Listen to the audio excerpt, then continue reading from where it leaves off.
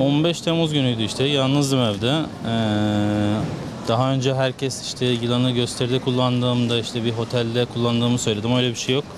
Ee, hayvanın evde besliyorum. Çünkü ee, bu hayvanın beslemeye ihtiyacı olduğu için ve hasta olduğu için ben de bir Suriyeli mahallesinde ee, gitmiştim çocuklara yardım için birkaç sene önce. Orada bu hayvanı görünce almıştım beslemek için. Çünkü bizim zaten bir rehabilitasyon merkezimiz var ve e, B sınıfı hayvanat bahçe ruhsatı var ve bu yüzden de hasta olan hayvanları besliyoruz. O gün de hayvanın hasta olduğunu gördüm. Aldım, yıkadım ve yerine geri koyarken hayvan döndü bir anda ve elimi soktu. Peşinden hemen kafesin içine koydum, kapağı kapattım ve hemen arkadaşları aradım. Arkadaşlar geldi beni aldı ve hastaneye doğru gittik.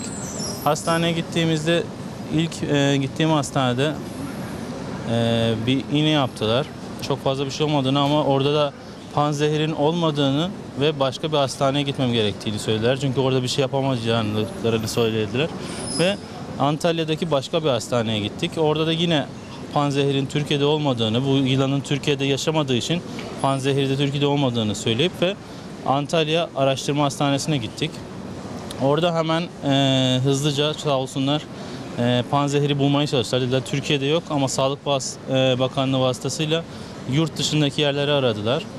E, kendi imkanlarımla e, Mısır'a gittim. Yani o özel dediğimiz e, ambulans uçağı kendimiz e, tedarik ettik.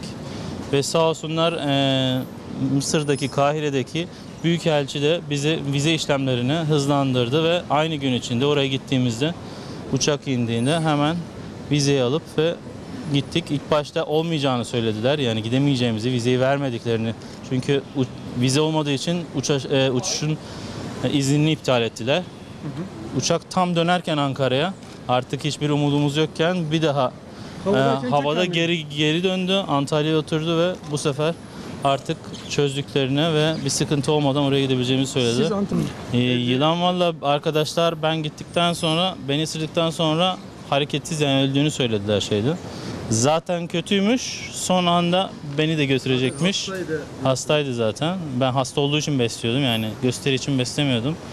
Zaten e, herkesin de düşündüğü gibi kimse zehirli olan bir yılanı gösteri için kullanmaz. Ben de zehirli bir yılanı hiçbir zaman gösteri için kullanmam. Ama tıp hakkında fikir beyan eden arkadaşlar olmuş. Ki e, sadece bir arı sokması kadarmış. Ben şeyi de getirdim. Tabii. Mısır'daki belgeleri de getirdim zaten hepsini. Epikrizleri.